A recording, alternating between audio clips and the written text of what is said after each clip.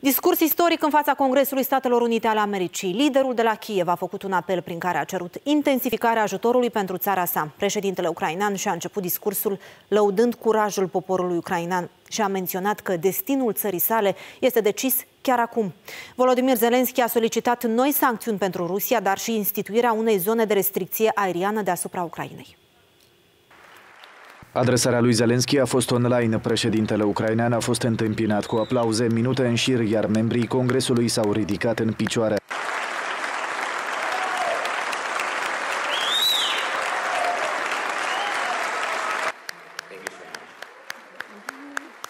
Oficialul a ținut un discurs de aproximativ 20 de minute în care a vorbit despre situația din Ucraina, dar și curajul de care dă dovadă poporul său. Zelensky a menționat că invazia rusă este mai mult decât despre Ucraina, e vorba despre democrație, libertate și alegerea propriei căi.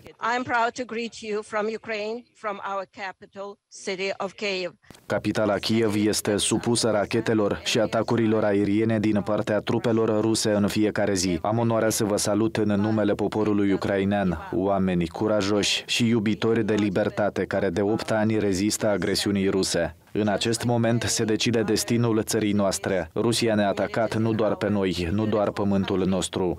Totodată, președintele ucrainean a solicitat Statelor Unite să continue să impună sancțiuni împotriva Rusiei pentru a împiedica Moscova să financeze războiul, dar și să ofere Ucrainei sisteme de aviație și rachete antiaeriene pentru protecție.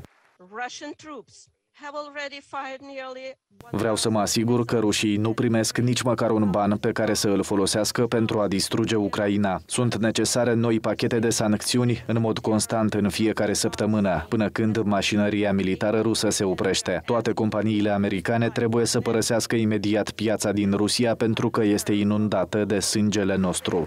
Pe finalul discursului, liderul de la Kiev a prezentat un video cu distrugerile provocate de forțele ruse în Ucraina. Clipul s-a încheiat cu un mesaj pentru instituirea restricțiilor de zbor în spațiul aerian ucrainean. Zelensky s-a adresat în limba engleză președintelui american Joe Biden și a cerut să fie liderul păcii.